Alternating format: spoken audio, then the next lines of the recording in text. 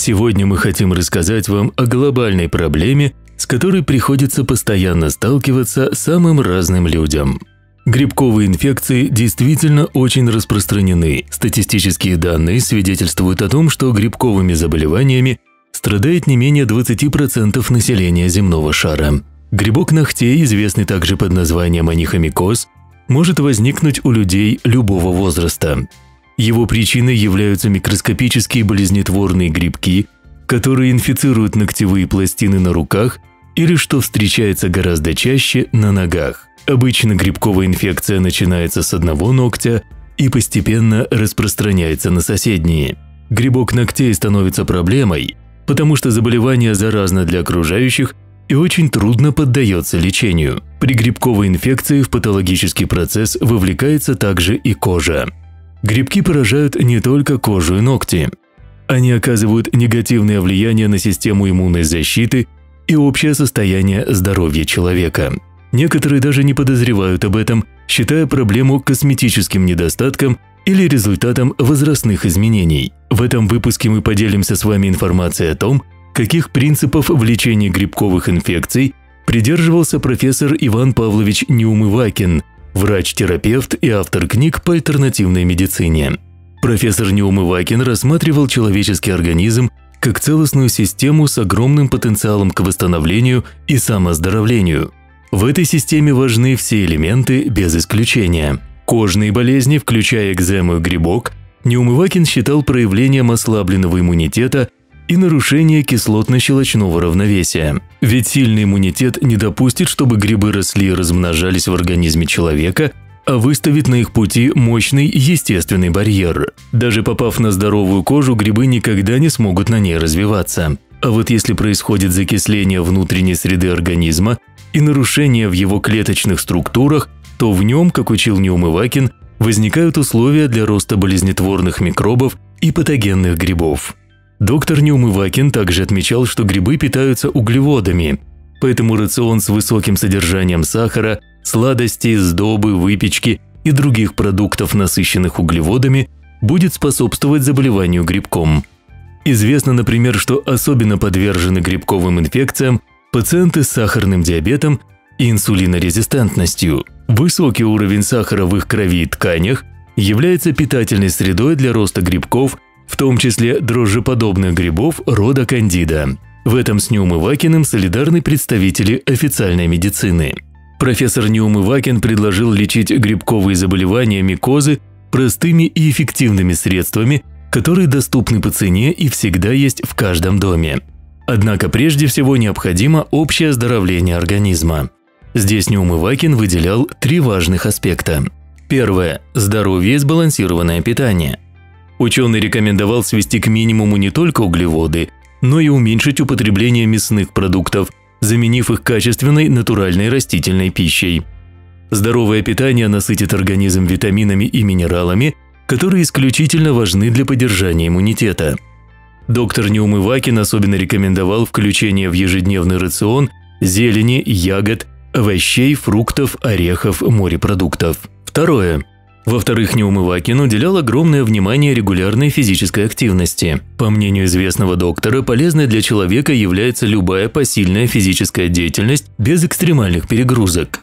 Пешие прогулки, пробежки, ходьба, плавание, зарядка, езда на велосипеде или катание на лыжах и коньках – все это укрепляет организм и повышает его общую сопротивляемость к болезням. Дополнительно Иван Павлович рекомендовал постепенное закаливание путем обливания холодной водой. Он считал закаливание одним из самых действенных средств укрепления иммунитета. Третье. Третья важная составляющая по Неумывакину – это поддержание кислотно-щелочного баланса внутренней среды организма. Для этого доктор советовал использовать пищевую соду и перекись водорода. Как видим, все элементарно просто. Досмотрите до конца этот ролик, и вы узнаете, в чем заключается метод Неумывакина. Итак, нам понадобится сода и перекись водорода, которые являются эффективными и безопасными антисептиками для местного применения. Их можно использовать также для профилактики грибка кожи и ногтей. Перекись водорода обладает рядом достоинств, которые помогают бороться с грибком. Во-первых, она обладает антибактериальными свойствами. Перекись – отличный антисептик и способна уничтожать бактерии. Поэтому этот активный компонент используется в борьбе с бактериальными инфекциями, которые зачастую присоединяются к грибковому поражению ногтей. Кроме того, перекись обладает способностью уничтожать грибки, то есть противогрибковым действием. Окислительный эффект перекиси водорода повреждает клетки грибков и помогает в их ликвидации. Польза пищевой соды состоит в том, что она не только помогает избавиться от грибка, но и устраняет неприятный запах, вызванный обильным потоотделением и размножением бактерий и грибков на коже. Сода и перекись оказывают также размягчающее действие, что помогает удалять инфицированные и омертвевшие частички ногтей и кожи. Перед началом лечения следует провести подготовку.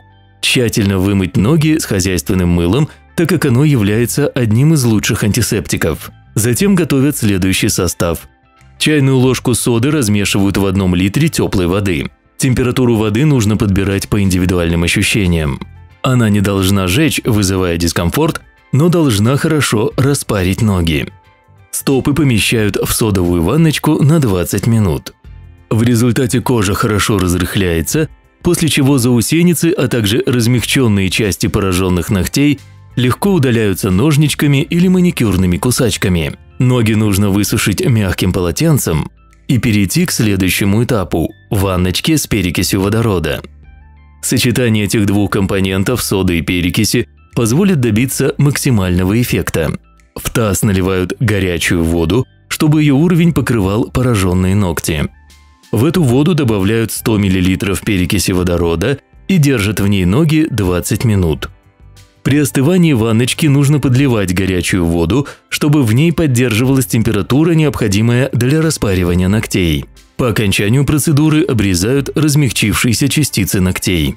Ножные ванночки с содой и перекисью нужно делать ежедневно в вечернее время. Возможно, сода будет пересушивать кожу на стопах, поэтому после процедуры можно нанести любой увлажняющий крем. Если грибок еще не захватил все ногти, а имеется поражение только одного-двух пальцев, можно делать на них компрессы с перекисью водорода.